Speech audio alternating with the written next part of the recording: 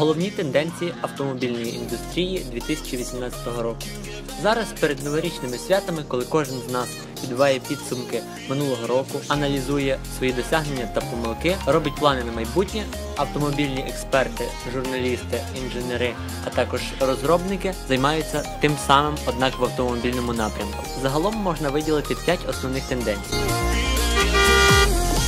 Першою є автопілот, один з головних трендів, який активно просувається багатьма автовиробниками. Вже зараз більшість нових автомобілів топового рівня вміють тримати дистанцію, рухатися з заданою швидкістю, також триматися в певній смузі і щитувати дорожні знаки. У багатьох автовиробників є прототипи автомобілів, що здатні їздити без участі водія. Багато світових корпорацій, що навіть не мають відношення до автовиробництва, теж займаються розробкою систем автономного водіння. Переважно це it компанії. Другою є електрифікація. Загалом це досить давній напрямок, але масовість цього явища відчувається лише в останні роки. Якщо за справу беруться такі компанії, як Tesla, BMW та Porsche, всі сумніви в успіху цього напрямку відпадають автоматично.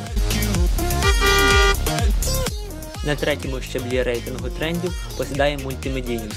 Вона розвивається поступово разом з розвитком інформаційних технологій. Зараз синхронізація автомобіля з телефоном вже нікого не здивуєш, а хмарні сервіси давно стали звичайним явищем. Навіть і діагностика автомобіля в онлайн режимі не сприймається як щось неймовірне. А на четвертому місці розміщена уніфікація. Глобалізація автомобільного світу це дуже тривалий та давній процес.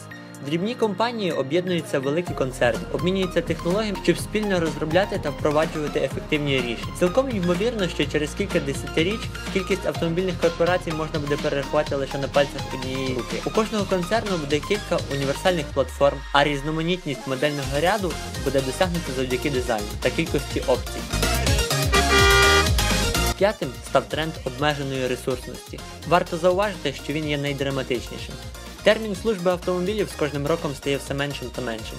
Зараз маркетологи та інженери працюють над тим, щоб по закінченні строку корисного використання, тобто плюс-мінус 5-8 років, автомобіль періодично починав докучати власникові своїми несправностями, які досить були б дорогі в його усуненні. Дуже явно можна провести собі аналогію з ринком мобільних телефонів, коли виробники просто припиняють підтримку застарілих своїх апаратів, щоб люди купляли нові.